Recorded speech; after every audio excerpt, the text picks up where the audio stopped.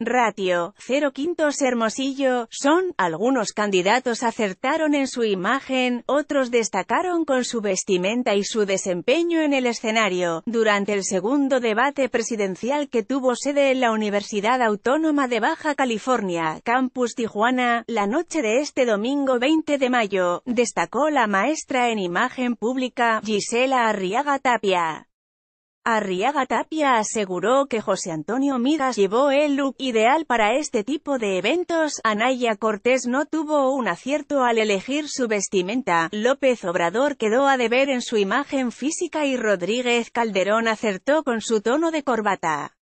La maestra en imagen pública dijo a Expreso 24 séptimos que hubo un lenguaje verbal agresivo por parte de Ricardo Anaya Cortés, pero que tuvo un buen desempeño al igual que José Antonio Mide en el escenario. En tanto, Andrés Manuel López Obrador conectó más con el público por medio de los sentimientos y Jaime Rodríguez Calderón siguió con su estrategia de hablar claro y preciso.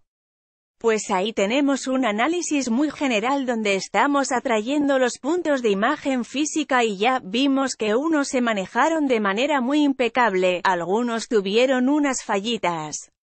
Ya vimos la parte de imagen verbal de cómo comunicaron cada uno de ellos y cómo el formato a uno les favoreció y a otros no tanto y vimos como la parte emocional pues sigue siendo una parte muy importante en esto en este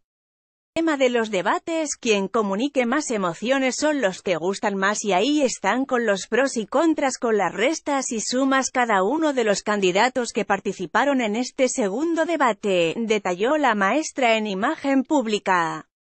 Gisela Arriaga comentó que hubo momentos en la noche donde se creía que uno de los candidatos tendría contacto físico con otro, lo cual fue una mala decisión. Añadió que la utilización de una sonrisa sarcástica por parte de Ricardo Anaya Cortés fue una estrategia que restó muchos puntos a su imagen durante el segundo debate. XPMJNFRUMAY 2018